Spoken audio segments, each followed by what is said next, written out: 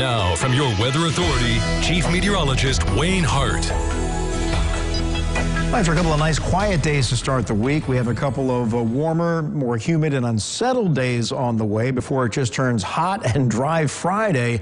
And then we deal with more numerous showers and storms to start the weekend. But today, a very comfortable start. 54 the low, but we soared to 85. That's seven above normal, but the humidity was still nice and low. That's going to be changing over the next 24 hours. Highs today, low to mid 80s. Now, these will be similar numbers to what we'll see tomorrow, maybe a little cooler, but with with the added humidity, it will feel a little more uncomfortable. We're not talking real humid air, but dew points looks like we'll be returning to the uh, lower 60s. And right now, live first warning Doppler radar is dry. That will be changing shortly after sunrise tomorrow morning, and I'll show you more on that in just a second. Right now, a partly cloudy sky over the Owensboro riverfront on our roofclaim.com tower camera downtown Owensboro, or Evansville, I should say, our superior Ag Tower camera with a temperature of 71. The dew points creeping up now to 55. Winds are calm and we're in the upper 60s to around 70. We'll wind up tomorrow morning around 60 degrees before these showers and thunderstorms arrive. And they're brewing off to our west right now.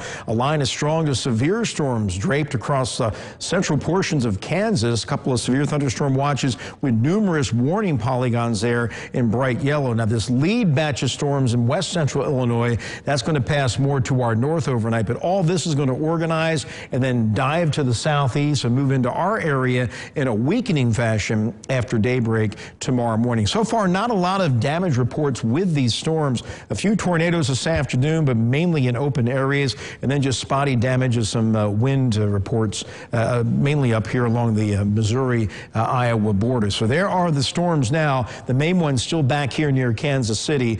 And then as we head through the overnight, We'll see these showers and thunderstorms increasing.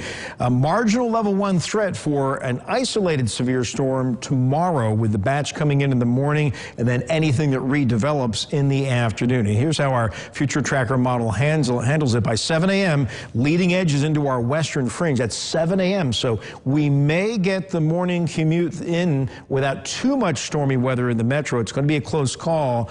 Uh, latest guidance slowing it down a little bit. By 9 a.m., that lead wave kind of falls apart. And then the main wave comes in during the mid to late morning hours. There's a cluster of stronger storms moving right into the metro along and north of the river at 11 a.m. That quickly moves to the east. Some sun comes out. High temperatures will be in the low 80s, but again, more humid than it was today. And then as that pulls away to the east, this is at noon, the front's going to be draped across western Kentucky. Sun comes out. It's unstable, but the upper level support is gone. So not quite sure how much new development we're going to see see down here, our latest model run really doesn't develop anything at all for the rest of the day. But if we do see something develop, and other models say we will, there could be an isolated severe weather threat there also. Future Tracker very late in the afternoon has a few showers in western Kentucky, then brings a more organized patch in by daybreak on Thursday. Those would likely not be severe, but we'll have those to start the day. We break to a mix of sun and clouds on Thursday as it turns warmer, and then another batch of scattered storms track more across our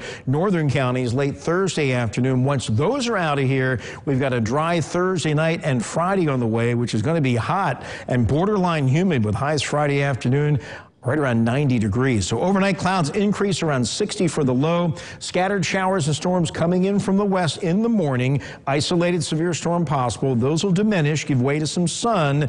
Turns windy 80 to 86 with perhaps a few more storms developing in the afternoon, especially in western Kentucky. Isolated severe weather threat there also. Tomorrow night, some scattered thunder showers. And then as we head through the rest of the week, seven day forecast, we'll have highs into the mid to upper 80s Thursday. Thursday with scattered thunder showers continuing. Friday, partly cloudy, very windy and hot, but dry. The high around 90. The new guidance slowing the front down on Saturday. So right now, it may just be scattered showers and thunderstorms slowly developing. We may keep the morning somewhat dry.